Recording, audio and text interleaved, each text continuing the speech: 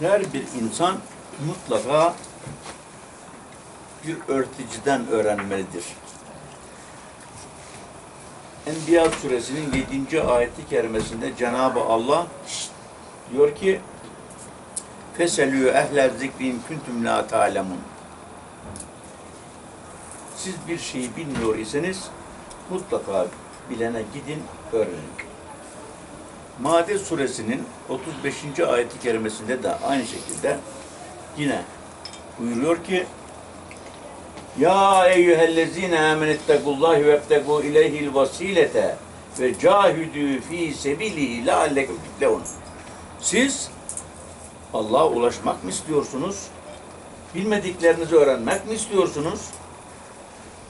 Mutlaka bir vesile arayarak bu yolda cahd dediniz diyor. Bu ayeti kerimelerde vesilesiz, mürşütsüz bir insanın kendi insan hasiyetini bulması ve kemalata gelmesi mümkün değil. Olduğu anlaşılıyor. Peki herkes gitmiş. Peygamberlerin de irşatları var mıdır? El cevap vardır. Musa aleyhisselam ne yapmıştır? Ta Musa'nın şey Firavun'un şeysinden zulmünden ne yapmıştır? Şuayb Aleyhisselam'a ülkesine gitmiştir. Onda hatta kızları oraya vardığı zaman herkes sıraya girmiş. Bir tek pınar var veya bir tek çeşme var. O çeşmede bütün millet su dolu şey yapıyor, hayvanlarını suluyor. Bu iki kız da hayvanlarını sıra bekletiyor. Yanlarına yaklaşmış güçlü kuvvetli Musa Aleyhisselam siz neden bu suları şey, davarlarınızı sulamıyorsunuz dediği zaman o da diyor ki bunlar bitirdikten sonra ancak bize sıra gelir. Başka yerde su yok mu? Var ama diyor şu kocaman gaya var orada. Onu da bizim gücümüz yetmez. Babamız ihtiyar olduğu için biz onu kaldıramayız diyor. Güçlü kuvvetli olduğu için getirin diyor. Bütün millet oraya sıraya girmiş. Daha akşam üstüne gelecek o iki kıza. Kız babaları ihtiyar olduğu için davarlarını gütmeye, şeye, sulamaya gelmişler. Sulay, sulayacak ama su şey yapamıyor. Sıra gelmiyor. Gücüyle ya Allah Bismillah demiş Musa aleyhisselam taşı kaldırmış. Ondan sonra da o pınardan davarlarını sulamışlar bir an evvel gitmişler. Kızın birisi demiş sen ne iş yaparsın?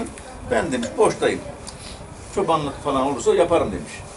Tabii kızların kendine has bir söz hakkı olmadığı için babalarına varmışlar. Kızım bugün neye erken geldiniz? Ta akşamüstünden doğru gelirdiniz. Ne zaman sıra geldi de hemen geldiniz?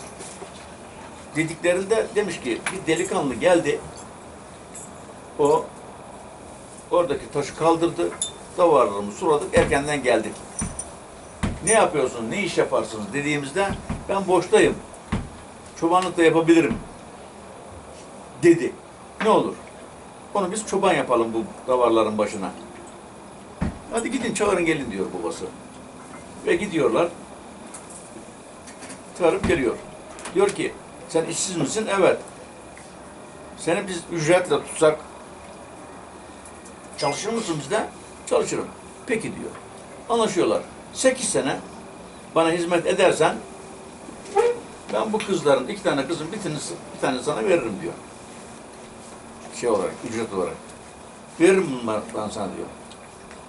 Sekiz sene çalışırsan ama iki sene daha çalışırsan benim için beni daha fazla memnun etmiş olursun diyor. Ve Suhaib Aleyhisselam da 8 sene çalışıyor. Dikkat ederseniz Musa sensin.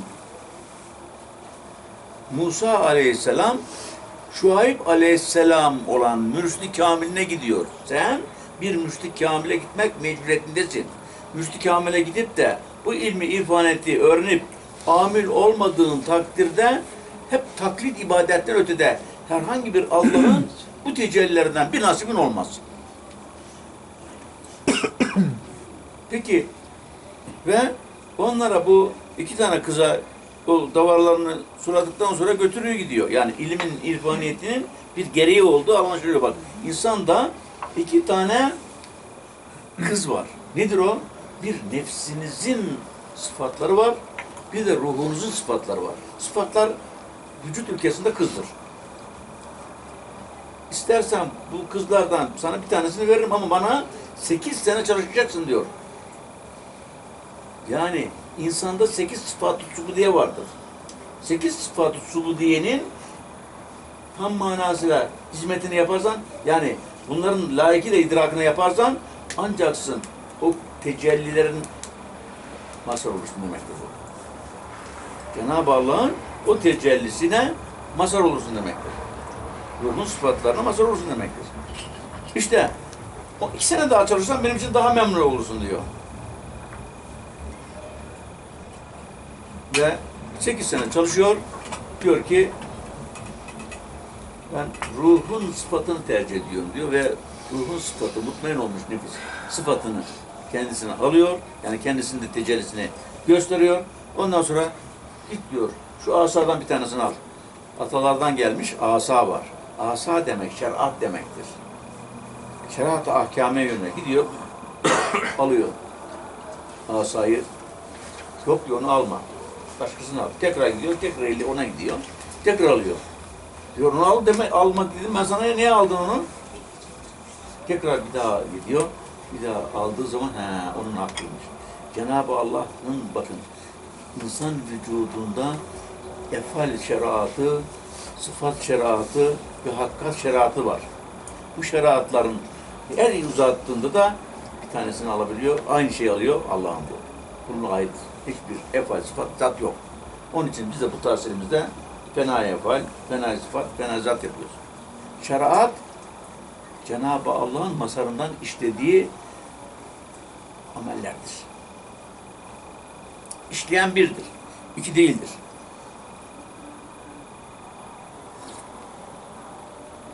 Ondan sonra mürşidin ayrılıyor.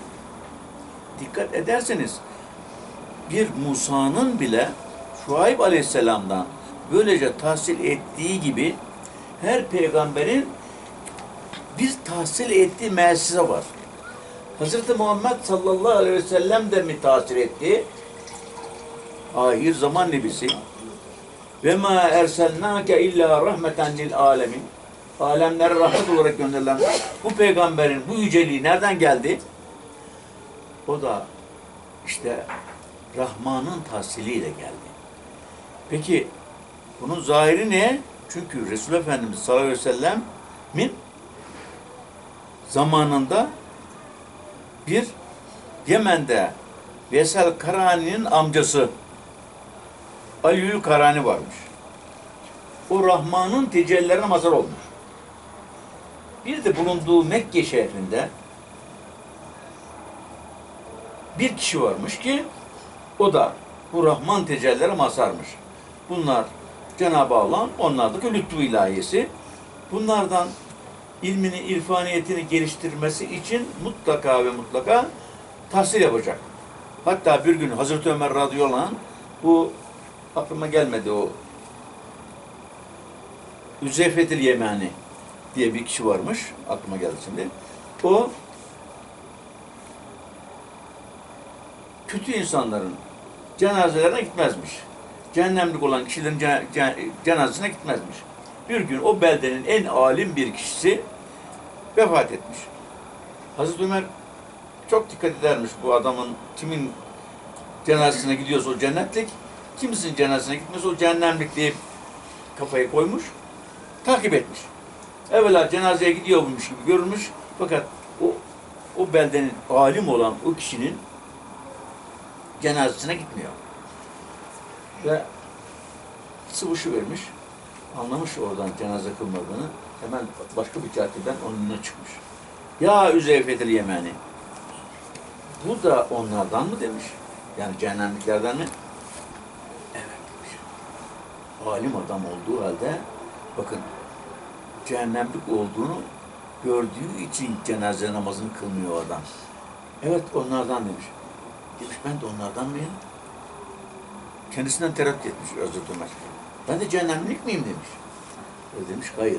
Sen dünyada cennetle müjdelenenlerdensin. Dünyada cennetle müjdelenen bir kişinin cehennem olması olur mu? Demiş. Ve Bu da göster bu olayı bir kısa olarak anlatılmış bu.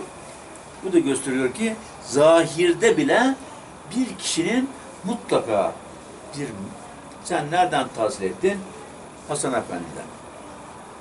İşte o. Ama Hasan Efendi'den esas beni tahsil ettiren kimdir? Rahman olan Cenab-ı Hak'tır. Kulun kendine has bir ilmi irfaniyeti yoktur. İşte Hz. Muhammed için de Yemen'deki olan Ali'l Karani'yi kullanmışlar. Yoksa o peygamberimizi görmemiş, onun zamanında ondan üstün bir kişi olur mu? Olmaz. Yani bu bir misal olarak söylenen, yani şimdi hayalindeki zandaki Rahman'dan tahsil etti diyese karşıdaki kişi inanmayacak. Onun için her bir kişi bir şey anlattığınız zaman mutlaka böyle bir vatandaş göstermen gerek. İşte bu bunun hocasıdır.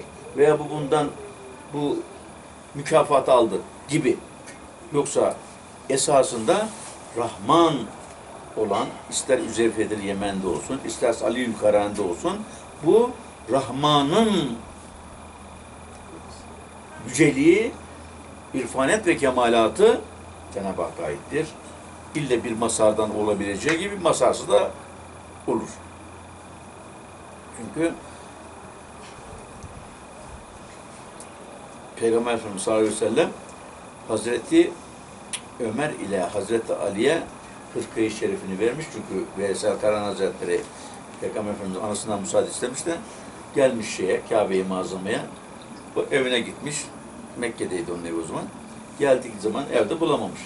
Ayşe validemiz karşısına çıkmış. Neymiş? Resulullah Efendimiz nerede? İşte camiye gitti veya da dışarıya gitti. Şu anda yok. Fazla da zaman olmadığı için annesine de söz vermiş. Tabii ben biraz daha bekleyeyim falan imkanı yok. Zamanında dönmesi lazım. Tekrar Resulullah Efendimiz görmeden dönmüş gitmiş. Ona binaen evine geldiği zaman hadis-i şerif var Peygamber Efendimiz. Diyor ki burada bir Yemen'den Rabbimin şey Rahmanımın kokusu bana geliyor demiş. Rahmanımın kokusu Yemen'den Rahmanımın kokusu geliyor deyince meğerse Yemen tarafından gelen o koku kendisini ziyarete gelen Veysel Karani'nin amcasının ve kendisinin kokusuymuş. Dönüyor tabi. Deve çobanıymış zaten. Okuması yok, yazması yok. Ona binaen diyor, madem bu koku geldi ve kendisindeki tecelliler zuhur edince babasını çıkarıyor, gönderiyor ona. Kimle gönderiyor? Hazreti Ali ve Hazreti Ömer'le gönderiyor. Ve geliyorlar. Ves gölüne, şeye varıyorlar, Yemen'e varıyorlar. Nerede, nerede? Veysel Karani. Peki, Karani köyüne geliyor. Karani köyünde Ves isminde bir kişi var mı burada? Kimse tanımıyor, bilmiyor. Yok böyle bir kişi diyorlar. Olması lazım diyor. Biz iki can serverinin elçileriyiz. Ona amanetimiz var, onu vermeye geldik. Ya işte diyor, Karani köyünde bir deve çobanı var, o olmasın. Ya olabilir diyor, gidelim bakalım. Gidiyorlar Karani köyünde, Ves'miş meğerse. Secdeye kapanmış. Dua ediyor Cenab-ı Hakk'a. Kapı çalınıyor, kapıya gel, e, kapıya geldikten sonra ben Ömer'im diyor, öteki ben Hazreti Ali'yim diyor. Resul Efendimiz sallallahu aleyhi ve sellem size hırkasını getirin diyor. Üç defa öpüyor, başını koyuyor. Ondan sonra onun bu yüce halinden mütevellit diyor ki ya Veys bize dua et. Dua buyur. Hazreti Ali ile Hazreti Ömer ondan dua istiyor. Dua isteyince diyor siz nerede durursunuz? Mekke'de diyor. Peki Mekke halinizi tanır mısınız? Evet tanırız herkes. Tanımaz mıyız? Herkes bizi tanır. Biz herkes tanır. Siz Allah'ı tanır mısınız? Allah'ı tanırız. Allah sizi tanısın, siz de Allah'ı tanıyın yeter. Millet, millet sizi tanıması veya sizin milleti tanımanıza gerek yok. İki soru soruyor, iki sorunun cevabını alınca üçüncüsünü daha nasihat et bize. Ya Ves diyorlar. Tamam diyor. Çünkü. Yani böylece nasihat ediyor. Dikkat ederseniz biz çokluk bir vahdetin yeterli kendisini toplanırsa üçüncüsü cevabı ortaya çıkar. İşte Cenab-ı Allah bak üç tecellisinin şişesini de burada gösteriyor. Peki niçin ta Yemen'de Hırkayı Şerifini hiç görmediği halde bir kişiye gönderir Resulullah Efendimiz? İşte Hırkayı Şerifi göndermesindeki hikmet ilahiye Hazreti Ali gibi hakikatçı olmalı bir kişi. Ve Hazreti Ömer gibi de şeriatı var ise ancak inşa eder. Yoksa namazsız, niyazsız ben mürşidim diyen kişinin arkasından asla gidilmemelidir. Veyahut da yalnız şeriat-ı ahkamiyede çarı sarığıyla, çalvarıyla, işte bu bilgilerle karşınıza çıkıyorsa bir kişi, hakikati yoksa onun, o da zahirden ötede bir şey bilmediği için o da yeter değildir. Bakın iki can serverinin bir şeriatçı, şeriatın lideri olan Ömer'i göndermesi, bir de hakikati Muhammedi'yi layıkıyla bilen, secaatkarlığı, sırları vakıf olan Hazreti Ali gelip Kerimullah Beş gibi ne yaptı? Ali'yi gönderdi. İkisindeki hikmet. Niye Ömer'i göndermedi? Niye Osman'ı göndermedi? Ve hırka da hilafettir. Yetkidir. Anlatabiliyor muyum? İşte onun için böylece Aliül Karani'nin bile bu yolda sonradan Rahman'ın ondaki kokusunu duymasıyla topluma yayıldı. Ve Resul Efendimiz Aliül Karani'den irşad oldu derler. Halbuki Aliül Karani Hazreti Muhammed'den üstün bir ilme sahip değil. Onun ümmeti o. İnsan talebe mürşidi irşad etmeder hiç. Mürşid talebe irşad eder.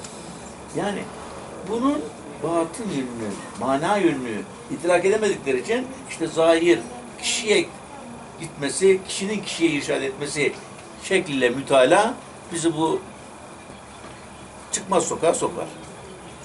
Bu da anlaşıldı. Bu da böyle.